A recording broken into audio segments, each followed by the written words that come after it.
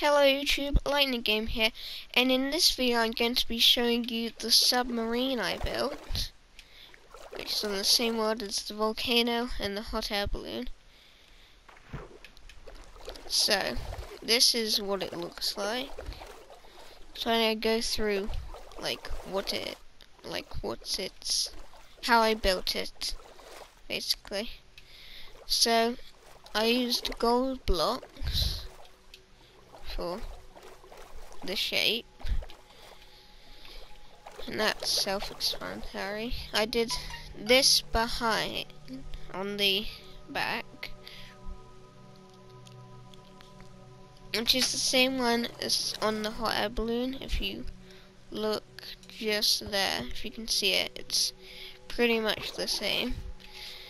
Anyway, there's this here, made of yellow glazed terracotta, which I decided to put there just like as a marking, sort of, so it's sort of unique.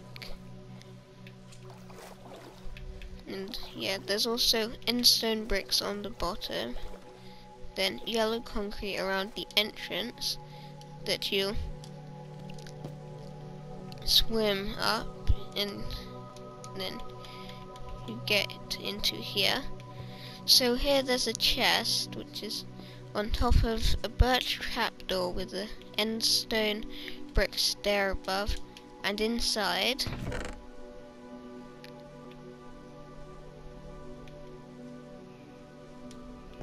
Okay, moving on. There's an armor stand here.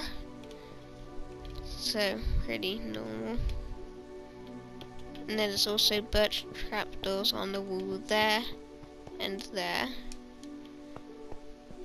Then there's the yellow glazed terracotta with and then there's armor stands with not armor stands um, item frames with armor and weapons in barrels. Luckily they don't have anything in this time. I wasn't expecting what was in the chest. I hadn't seen yet um, anyway, there's a bed here with a painting and a window here. And this is a windowsill so it's grass blocks with birch trapdoors surrounding them. And on the sides there's flower pots with orange tulips in. You could use any flower really. Um, Anyway, you've probably noticed that this is carpet, but it's cool how it blends in with the grass. And underneath is sea lanterns to light it up. So, and also this carpet here with obviously having glowstone underneath.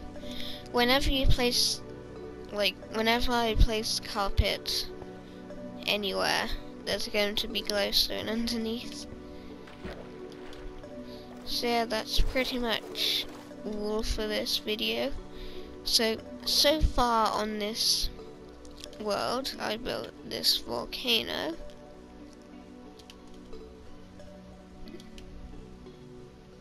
This hot air balloon.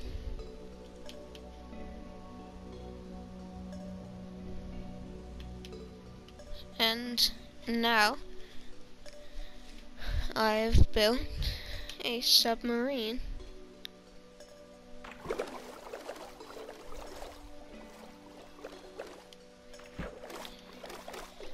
So if you enjoyed this video, I'd appreciate it if you hit that thumbs up button and subscribed, and I'll see you in the next video.